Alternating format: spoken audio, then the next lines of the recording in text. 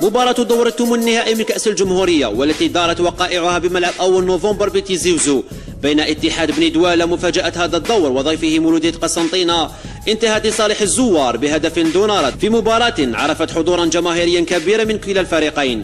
البداية جاءت سريعا من طرف الزوار. مخالفة بوزوار حولها الحارس بالنوفلة بصعوبة للركنية.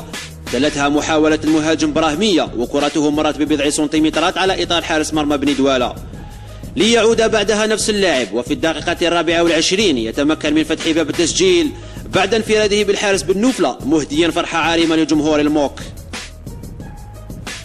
ماركي أنا ماركي واحد خلاف ليسونسيال. حنا نخدموا كوم جروب. الحمد لله ليسونسيال كاليفينا هذه رد الزوار جاء متأخرا وتسديدة العربي شريف وجدت الحارس كيال بالمرصاد الشوط الثاني بسط فيه أصحاب الأرض سيطرتهم ولكن بدون جدوى.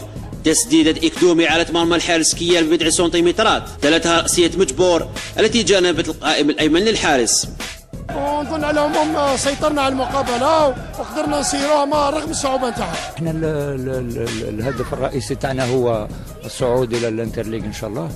والعام الجاي نعاود نولوا إن شاء الله بأكثر بأكثر. ليعلن بعدها الحكم بوخالفة عن نهاية اللقاء بتأهل صعب لمولودية قسنطينة. أفرح كثيرا اللاعبين والأنصار على حد سواء.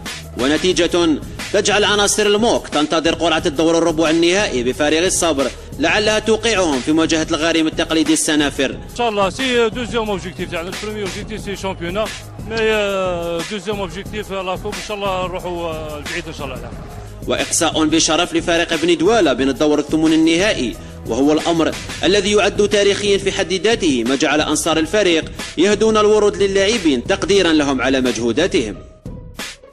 ان شاء الله atteindre notre objectif de, de l'accession ان شاء الله l'année prochaine ونشكر كامل اللاعبين اللي داروا اللي ادوا مباراه القمه فريق